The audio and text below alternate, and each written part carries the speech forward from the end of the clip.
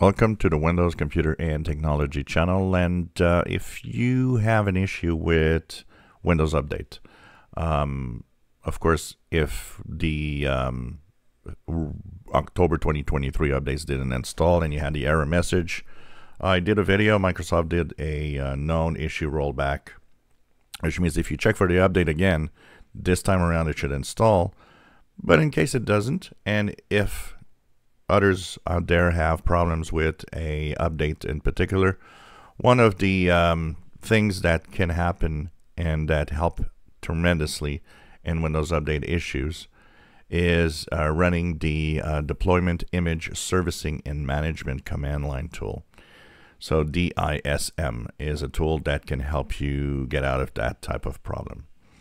So how do you do this? Well, if, like I said, you're stuck with an update that refuses to install, go to your search and type CMD for command prompt, but click the Run as Administrator option.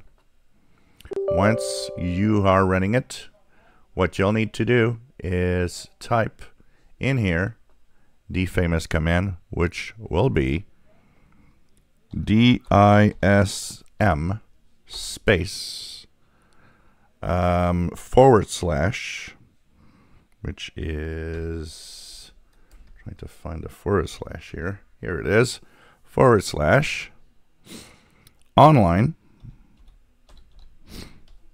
space, forward slash, cleanup,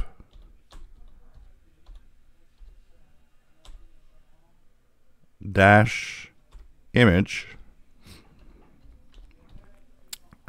space forward slash once again restore and you see that the R is in uppercase health H and uppercase like this. And of course I will be um, copying and pasting the command itself in the uh, description below if you want to just copy paste the command line. And press enter. And here it's going to verify the image with a clean, correct image and will fix anything that might be wrong. It will also clean up whatever could be a problem in the image uh, or in whatever's happening. So once this is done, what you'll able be able to do is simply um, restart your PC and do a Windows update again. And one search when you search for updates, uh, you should hopefully have a Windows update that runs perfectly. So just let it go through. It's going to be slower or faster, It depends on the speed of your machines and all of that. For some, it might take a long time to complete. For some, it will be faster if you have an SSD drive particularly.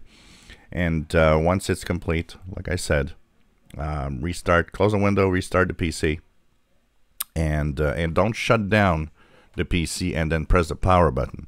When I say restart, it is a restart. Click the power and you click the restart option. Once that is done, you should hopefully have a good working Windows update. Uh, this, by the way, is a command that also can be used to fix other types of issues. If uh, so, good luck. Hope it works for you. If you enjoy my videos, please subscribe, give us thumbs up. Thank you for watching.